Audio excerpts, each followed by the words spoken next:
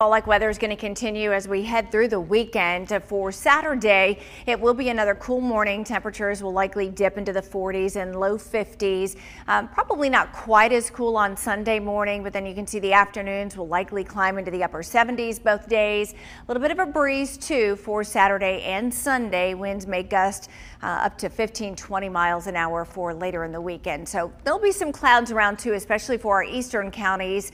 Uh, here's a look at Ian, and you can see most most of the moisture with this storm kind of on the northern side of the hurricane. Winds are at 85 miles an hour currently, moving north northeast close to 10 miles an hour and expected to move inland along the South Carolina coast a little bit later on this afternoon and then continue to weaken as it slowly uh, dumps just a tremendous amount of rain on the mid-Atlantic states uh, through the weekend. Closer to home, you can see we've got a few clouds that are streaming in here in southeast Alabama. And again, we'll have some clouds at times, especially for those eastern counties possible we're able to squeeze out a spotty shower two over the next couple of days there close to the Georgia border, but for most of us, that is not going to be the case. And you can see some of those clouds on our sky cam that I just pointed out on the uh, satellite image. We're looking off uh, toward the, uh, the east, obviously there from the Talladega Superspeedway.